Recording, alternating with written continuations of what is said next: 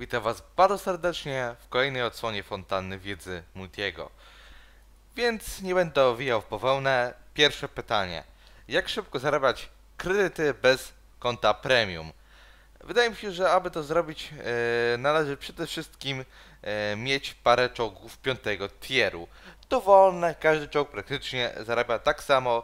Ważne, aby był to piąty tier, którym lubicie grać, sprawia ta gra nim e, wam przyjemność, aby nie było to e, nie, żeby aby nie było to męczarnia, aby to było dla was przyjemne, e, aby wam to sprawiało przede wszystkim przyjemność, bo o to tutaj chodzi. No i po prostu jedna bitwa, 20k e, do przodu, druga bitwa, 20k do przodu i tak cały czas, krok po kroczku możemy sobie zarabiać kredyty tymi piątymi tierami, które tak naprawdę zarabiają najlepiej chyba kredyty ze wszystkich. E, no i może e, to być chyba najlepsze rozwiązanie. No jak e, bez premium, to niekoniecznie mówisz tutaj o tym, żeby nie, kupić sobie czołgu premium, więc to też jest drugie rozwiązanie. Takie bardziej lepsze, gdy grasz bardzo mało, ale czasami masz ochotę, to możesz sobie kupić czołg premium i grać raz na jakiś czas i zarabiać te lepsze, te kredyty w większej ilości, o tak. Dlaczego nie można nagrywać World of Warplanes? Dlatego, że to jest jeszcze beta, a jak jest beta, to nie wolno jeszcze nagrywać. Lepiej nie ryzykować. Poczekam na e, otwarte e, testy, wtedy wszystko będzie już ustalone e, i najlepiej to na release poczekać, bo tak naprawdę to szczerze mnie jakoś nie kusi ta gra. Na razie sobie odpuszczę ją. E, skupiamy się przede wszystkim obecnie na wocie i e, to jest nasz główny cel. Co sądzisz o E75? Czy jest w stanie konkurować z S100? A może jest lepszy? No, E85 e, oczywiście jest e, lepszy e, od wielu innych czołgów 9 tieru, ale nie przesadzajmy, to nie jest czołg lepszy od S100, e, to są inne tiery, więc nie można tego też tak porównywać. S100 jest innym pojazdem, to jest dziesiątka, tutaj mamy dziewiątkę, to nie można tak tego porównywać, bo no mimo wszystko e, S100 jest bardzo fajne, odkąd jest, są kredyty za normalną walutę w grze, a nie za złoto.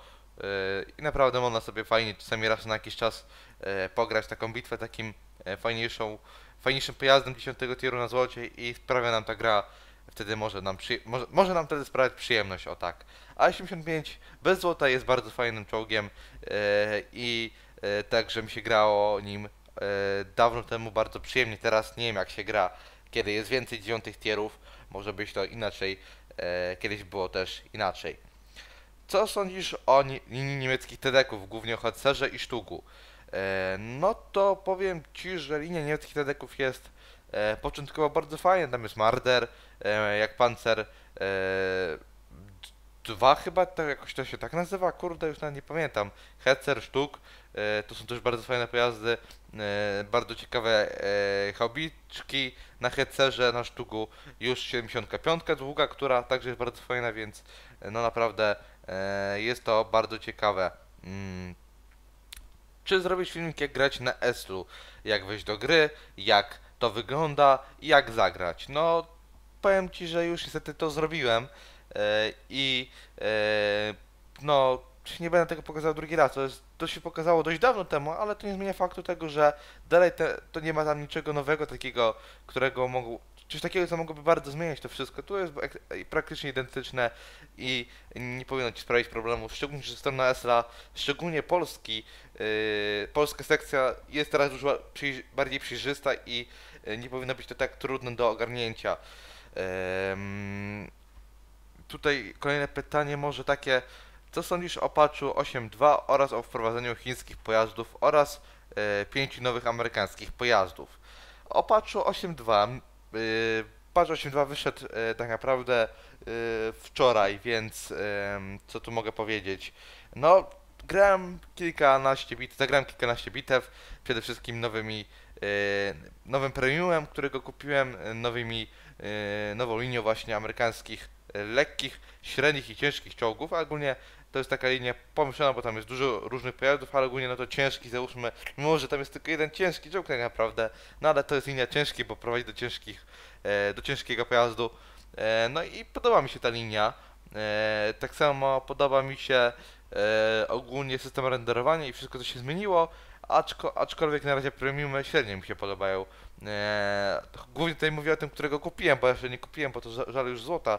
Tyle niestety, żeby wydawać tak na każdy czołg, to jeszcze na razie nie mam, bo... Znaczy mam, ale e, żal mi wydawać na takie pojazdy, którymi nie będę grał w przyszłości na pewno.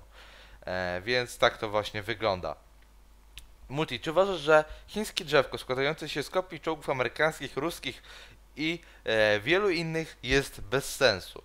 E, no, może to się nam wydawać tak, że są kopie czołgów, ale e, tak naprawdę to jest linia czołgów, przynajmniej była, kiedy były testy jej, bardzo, em, tam było bardzo dużo nacji tak naprawdę połączonych w sobie i to jest prawda to, co piszesz, aczkolwiek e, te sta- statystyki są inne, wygląd jest może i podobny, ale statystyki są inne i gra się tymi czołgami inaczej, e, są one naprawdę ciekawe, ale no troszeczkę tym wyglądem jednak e, odrzucają e, i średnio mi się chce rozwijać linię od zera. Znowu tak naprawdę tych e, samych czołgów. Ja zawsze lubię sobie popatrzeć na czołg. Taki King Tiger pięknie wygląda. 90, setka mi się też podobają, e, szczególnie Skama, a tutaj taki czołg, znowu ten sam. I to nie setka, ani King Tiger, tylko jakiś ruski cheat. No nie wiem, czy mi by się chciało dalej takim czymś grać. No to już jest ciężkie pytanie. E, no i idziemy dalej. Mm, czy jest coś, o co szczególnie chciałbyś... To, mm, Okej, tutaj troszeczkę inaczej pytanie, e, źle zredagowane. Czy jest coś, co chciałbyś szczególnie zobaczyć w nadchodzących aktualizacjach? E, co do tego, no to może powiem tak. E, no przede wszystkim chciałbym e, zobaczyć sobie... Chciałbym zobaczyć sobie polskie czołgi. To jest chyba rzecz, którą każdy z nas by chciał zobaczyć. E, akurat może nie całe drzewko, tylko takie bardziej europejskie, gdzie byłoby e, na przykład czwarty, piąty tier jakiś polski pojazd i zagrać sobie takim, no to byłoby coś fajnego, e, zobaczyć sobie polskiego orła na polskim pojeździe, no to mogłoby być coś ciekawego i takie coś raczej by, mi, by mnie satysfakcjonowało. No, no to idziemy może dalej. Jakie moduły na ISA 3? Mamy już dosyłacz i ulepszony system naprowadzania. Oprócz dosyłacza, tak zwanego ramera, polecam również wentylację i stabilizator zamiast tego shitu, jakim jest system naprowadzania. On daje tylko Ci 10%, kiedy e, stabilizator pionowy daje Ci aż 20%. E, pomyśl o tym, aby to zmienić, bo e, na 10% to nie dostrzeżesz tego tak bardzo jak to, że obracasz wieżą, to tracisz o 20 mniej pro, o 20% mniej masz zmniejszony celownik tak naprawdę, więc no dużo lepiej się korzysta z stabilizatora pionowego. Czy jakbyś miał czołg KW4 i 70k expa na nim, to szedłbyś dalej ścieżką WISA 4, czy wróciłbyś e, w ścieżkę z ISem do ISA 7 tutaj powinno być. E, no to powiem tak, e, wydaje mi się, że e, to już bym szedł tego w ISA 4, ja raczej bym nie rozwijał od nowa tych czołgów. Wydaje mi się, że to tak jest już e, kawał drogi przyszedłeś, więc e, i drugi kawał drogi także ciebie czeka, więc no jeszcze daleka droga przed tobą i na razie farm e, IS-4 naprawdę bardzo fajny, docelowy czołg. E, KW4 ST1 już e, za bardzo tak ci nie powiem, bo grałem nimi za mało, żeby tak e, wypowiadać na nich temat jakoś bardzo e, jako, jako taki duży spec. Wiem, że IS-4 naprawdę sprawi ci przyjemność i raczej w niego bym się dalej kierował. E, jaką masz radę dla ludzi grających AMX 5100, ponieważ wielu ludzi nim lami, e, w tym ja. No to tak samo ja mogę powiedzieć, że ja też lamię tym czołgiem. To nie jest tak, że e, w każdej bitwie robisz cuda na kiju. Tu też się zdarzy one shot, czasami to czasami jakiś wyjazd e, zły, to czasami gdzieś się wyczuje intencje, czasami pojedziesz za daleko, skręcisz za wcześnie, nie przeładujesz na czas, zginiesz od arty, tak jak powiedziałem na hita, czy też za mniejsze obrażenia, to nie zginiemy akurat, ale e, zawsze coś się może stać, więc jest dużo opcji, że nie zagramy bitwy życia, no ale przede wszystkim e, zawsze jeździmy, jeżeli wiemy, że artyleria trafi nas na bank, na bank, czyli tak, no ciężko powiedzieć, że na bank nas trafi, ale jest taka możliwość, to pamiętaj, nie uciekaj tyłem, tylko e, trzeba być przodem cały czas, bo przód jest w stanie wytrzymać cokolwiek. On ma ten pancerz, który troszeczkę niweluje te obrażenie zadawane przez artylerię, ale jeżeli stoimy tyłem, dostaniemy full damage w dupę i zginiemy na hita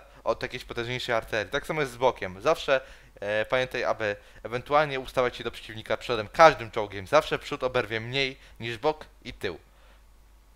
E, tutaj pytanie o nową gałąź, gałąź amerykańskich czołgów, to już dalej nie będę tego kontynuował, bo to już e, powiedziałem, e, więc idziemy także dalej. Em, mam taki problem, otóż e, zastanawiam się nad wyborem e, wieży e, do M4 Jumbo. Wybrać tą z lepszym pancerzem, czy tą gorszą, z lepszą, szybkostrzelniejszą armatą. No to już jest twój e, wybór, czy wolisz częściej walić e, i częściej walić, częściej strzelać, e, czy też może mieć lepszy pancerz. Ja bym wybrał mimo wszystko e, lepszą, szybkostrzelniejszą armatę.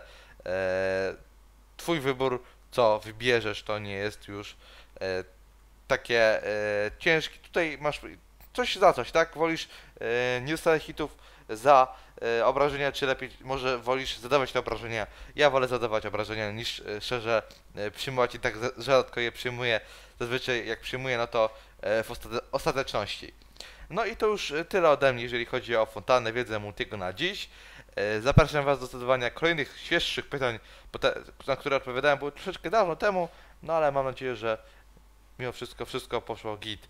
E,